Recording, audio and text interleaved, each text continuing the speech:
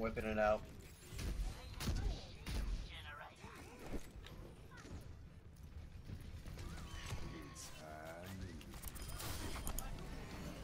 Holy shit.